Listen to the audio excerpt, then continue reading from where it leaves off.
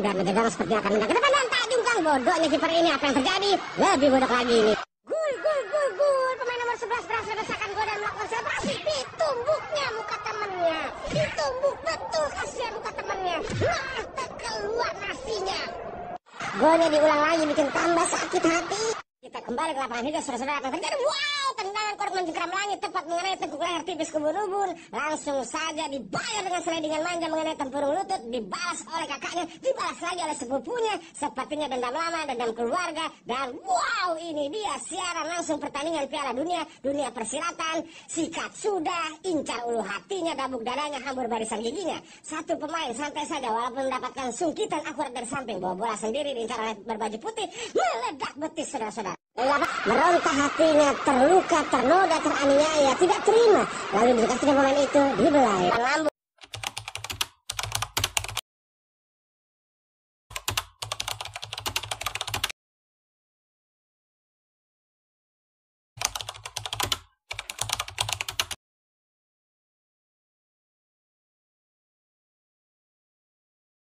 Di dalam Piala Dunia dan ternyata itu tidak relevan saudara ya.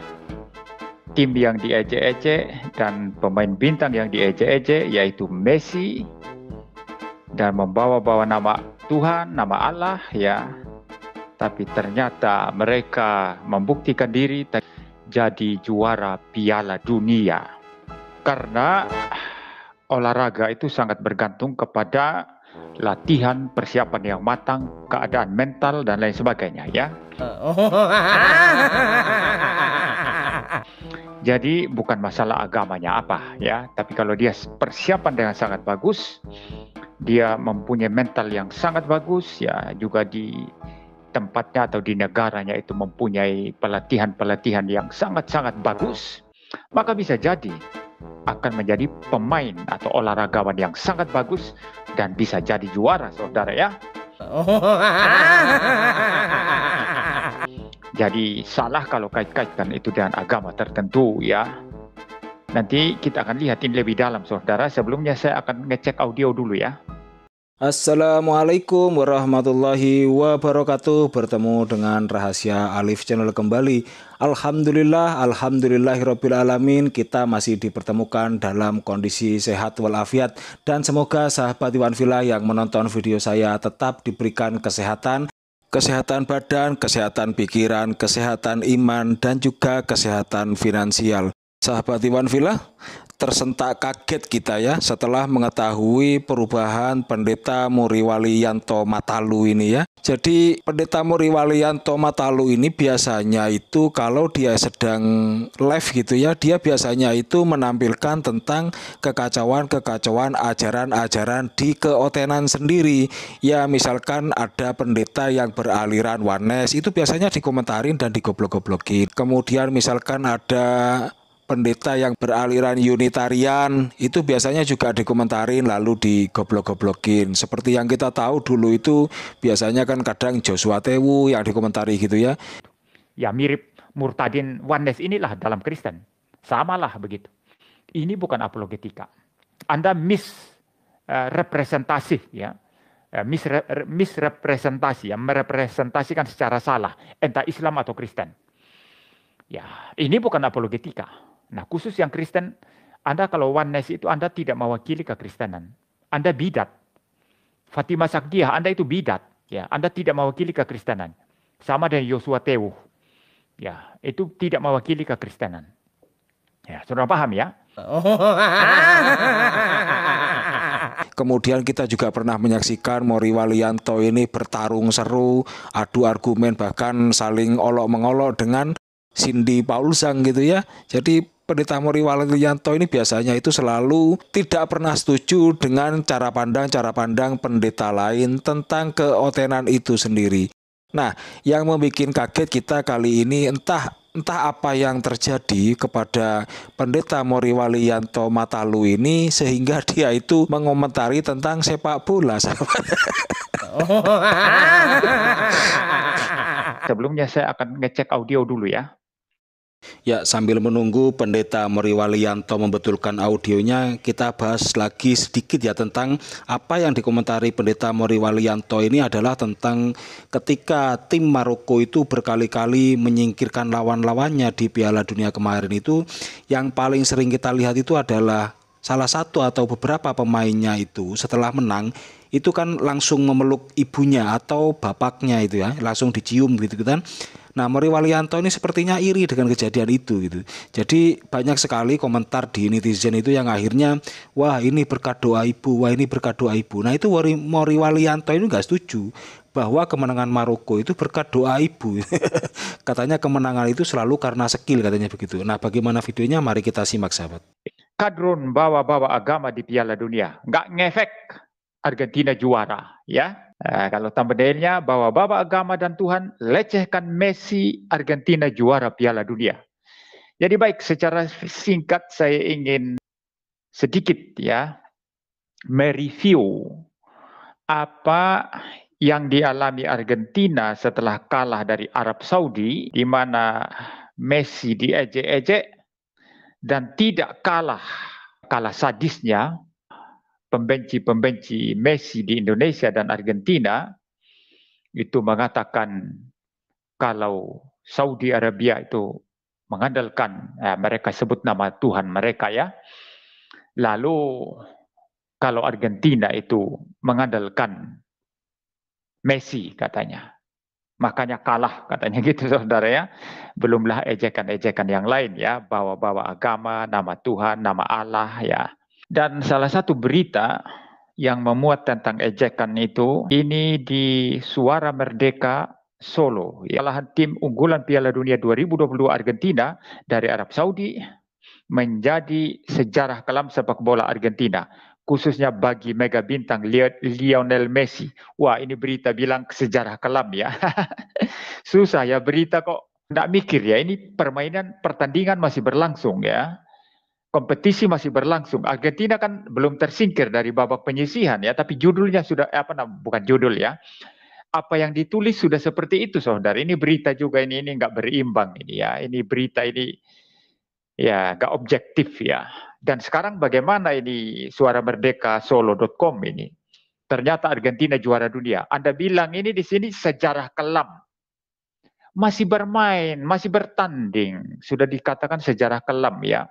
Lionel Messi telah diejek secara brutal oleh para penggemar Arab Saudi yang memberikan penghormatan kepada Cristiano Ronaldo setelah kemenangan mengejutkan atas Argentina. Jadi mereka dikatakan di sini lebih ngefans ya sama Cristiano Ronaldo juga pemain bintang dari Portugal dan mereka melecehkan Messi ya. Wah, tidak kalah hebohnya di Indonesia ini bawa-bawa nama agama, nama Tuhan dan lain sebagainya. Tapi faktanya apa saudara? Arab Saudi tersingkir di babak penyisihan. Tidak bisa lanjut. Memang menang sama Argentina, tapi cuma itu. Sisanya poin yang dikumpul terlalu dini ya menilai. Belum selesai pertandingan sudah melecehkan lalu bawa-bawa nama agama. Ya, saya sedikit uh, melanjutkan mengenai bawa-bawa nama agama. Setelah Saudi Arabia tersingkir, sekarang pengharapan para kadrun yang suka bawa-bawa nama agama untuk mengkotak-kotakan orang beralih ke Maroko sekarang. Maroko yang secara tidak terduga ya masuk sampai semifinal, saudara. Ada yang mengatakan ketika Maroko tundukkan Portugal ya. Doa Bapa kami kalah dari doa ibu katanya. Jadi menurut kadrun-kadrun ini Maroko itu menang karena doa ibu. Ya, ibu-ibu mendoakan maka Maroko menang. Maka doa Bapa kami kalah yaitu doa Bapa kami kan dianggap ya diasumsikan bahwa Portugal itu adalah Kristen ya, padahal tidak tentu demikian saudara ya. Nah itulah tadi potongan tentang apa yang dirangkum oleh Pendeta Moriwali Yanto Matalu. Jadi ada dua hal yang ingin saya sampaikan di sini kepada Pendeta Moriwali Yanto Matalu ini.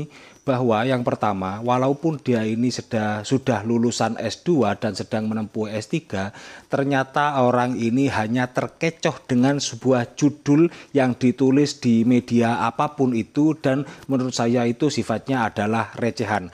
Karena yang namanya ungkapan kegembiraan itu orang-orang boleh menulis judul dalam beritanya itu boleh apa pun ya itu namanya clickbait. Jadi supaya orang itu tertarik untuk membaca makanya judul itu dibuat sesuatu yang sangat heboh. Walaupun isinya kadang tidak sesuai dengan judulnya. Dan itu sudah hal yang biasa itu lumrah. Kalau S2 ya yang sekarang sudah menempuh S3 mengomentari hal yang demikian ini terlalu recehan ya. Apalagi ini adalah seorang pendeta dan menurut saya ini adalah pendeta besar tetapi apa yang disampaikan itu adalah sesuatu hal yang sangat kecil-kecil. Ya ya saya juga tidak tahu mungkin dia hanya sekedar ingin membuat konten karena selama ini kalau dia itu khotbah ngomongin soal kitabnya dia itu kan nggak pernah ada yang nonton. Paling yang nonton 500 600 itu satu video dibuat satu jam yang nonton nggak sampai 1000 berbeda kalau pas judulnya dia bikin video si Suma ini sangat ini gitu. Kores Kristus melakukan ini. Wah itu baru itu itu baru penontonnya bisa sampai ribuan. Nah, mungkin dia sedang mengambil momen penting di situ karena terjadinya pertandingan sepak bola dunia yang memang sangat heboh, dia ngambil judul itu gitu. Padahal ya menurut saya nggak ada yang penting untuk yang dibahas. Yang kedua, dia di sini mengatakan bahwa ya saya anggap dia agak melecehkan tentang doa ibu ya. Jadi seolah-olah bahwa doa doa bagi dia itu kurang begitu penting gitu. Ya sebetulnya menurut saya Oten sekelasnya MYM ini agak agnostik sebetulnya e, atau ateis lah ya. Jadi tidak percaya terhadap Tuhan. Jadi seolah-olah doa kita itu nggak nyampe begitu. Padahal segala sesuatu apa pun itu satu helai rambut pun jatuh itu semua sudah diperhitungkan oleh Allah. Sudah ada perhitungannya. Sudah tertulis di Lauful Mahfudz Ya, di Islam itu begitu Pak Mori Walianto. Dan itu ada di kitab Anda. Satu helai rambut itu tidak ada yang lepas dari pengawasan Tuhan. Apalagi soal permainan sepak bola.